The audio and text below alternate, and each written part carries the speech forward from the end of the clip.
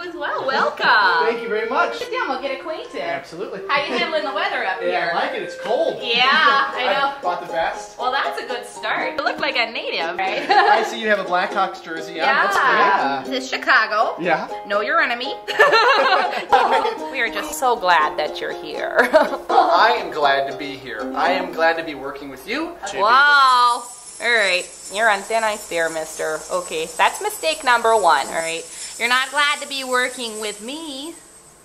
No, you're glad to be working for Sarah. Right. Right? Yes, absolutely. Yeah. I am glad to be working for Sarah Palin. Yeah. Um, you know, I really believe in everything she's fighting for. Wow! Just hold your muskies there, Nanook, alright? now, Sarah doesn't fight for anything. No.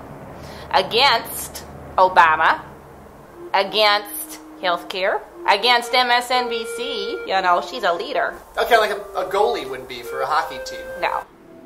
No, that's a strange analogy. Mm-mm. I, I don't think that Sarah wants to be associated with a man with the scraggly beard and the long stringy hair and the and the no teeth in the front. you know.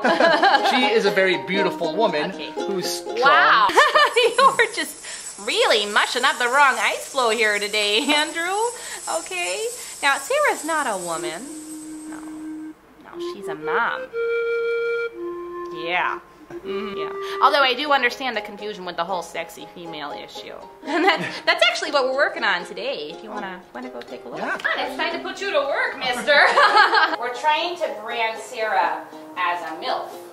Oh, a MILF. Yes, I know a MILF. Absolutely. Oh, that's disgusting, Buster. I said MILF.